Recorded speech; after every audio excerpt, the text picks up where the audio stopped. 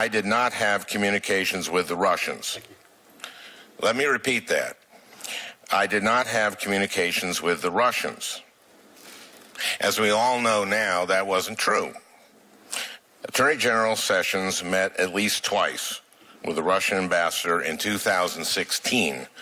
Once in July, an event during the Republican National Convention, and once in September in a private meeting in his Senate office.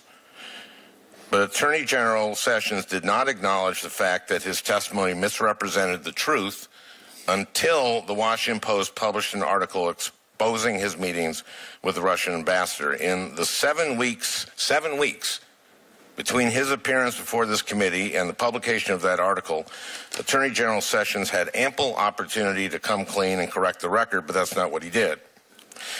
So after an embarrassing story in the Post describing undisclosed with the very same Russian official whose communications forced the president's national security advisor to resign, Attorney General Sessions hastily called a press conference and announced that he would recuse himself from overseeing any Justice Department investigation into Russian interference with the election. So, Mr. Rosenstein, now that the Attorney General has recused himself, it's your turn to answer my question, the very same question. Again, here is the question I asked then Senator Sessions and that I would like you to answer now. If there is any evidence that anyone affiliated with the Trump campaign communicated with the Russian government in the course of this campaign, what will you do? If uh, there is predication to believe that such a communication was in violation of federal law, Senator, I would ensure an appropriate investigation. Now, Mr. Rosenstein, do you understand that you have an ongoing obligation to update your testimony and correct any inaccuracies or mistakes that you discover after you leave the hearing today? You're making me very self conscious, Senator, but yes, I believe I do. I, am trying to be as careful as I can. Good. I must uh, have just taken it for granted that witnesses understood their obligation to correct inaccuracies in their testimony but evidently that obligation was not known to Attorney General Sessions. Yesterday, four days after the press conference at which he announced his recusal, and 55 days after his hearing, Attorney General Sessions finally wrote to the committee to update his testimony.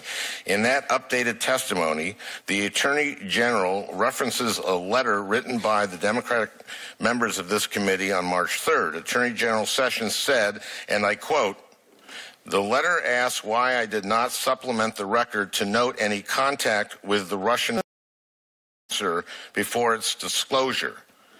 Having considered my answer responsive and no one having suggested otherwise, there was no need for a supplemented answer.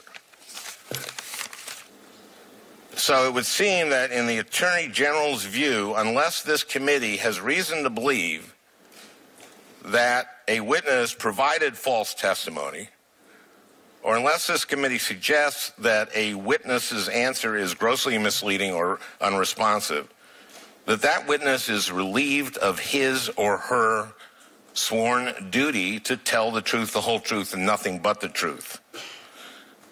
But I don't think that's how it works. And in light of Attorney General Sessions' failure to recognize his obligation to this body, I thought it was important for me to make sure that you clearly understand this obligation. And you do understand this obligation, right? I believe I do, Senator. Okay. I think Senator Sessions should come back. I think he owes it to this committee to come back and to explain himself. Because he, he also says in his letter Uh, may I just.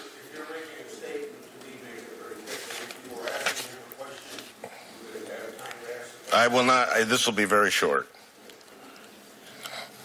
Uh, he says, having, let's see, I did not mention communications I had with the Russian ambassador over the years because the question did not ask about them. I asked him what he would do as Attorney General if it was true that members of the campaign had met with the Russians. So he says, I did not mention communications I had with the Russian ambassador over the years because the question did not ask about them. He answered a question I didn't ask. And for him to put this in his letter as a response is insulting. And I, I, he should come back and explain himself, Mr. Chairman. I think he owes that to us. Because this appears to me like he was, uh, and I have been, I've bent over backward, not to say that he lied. He needs to come back. I've bent over backward. I have given him the benefit of the doubt, but he has to come back. Mr. Chairman, may I, uh, What? sorry, may I, may I just make one clarification, and I uh, apologize, but Boy. Se- Senator uh, Franken's comments, uh, I think, make it important for me to make this point. That is that uh, I want to make sure I didn't misspeak earlier when I was asked about whether or not uh, I would announce that an investigation was ending regarding Russia. I want to make sure you're all clear on this, that I do not know if there is an investigation. I, I- I don't know anything but I, what I've read in the newspapers at this point. Well, I actually find found find it very disturbing that you did not read the uh, the uh, declassified report on on on Russia's activities during the read the election. I find that very very disturbing.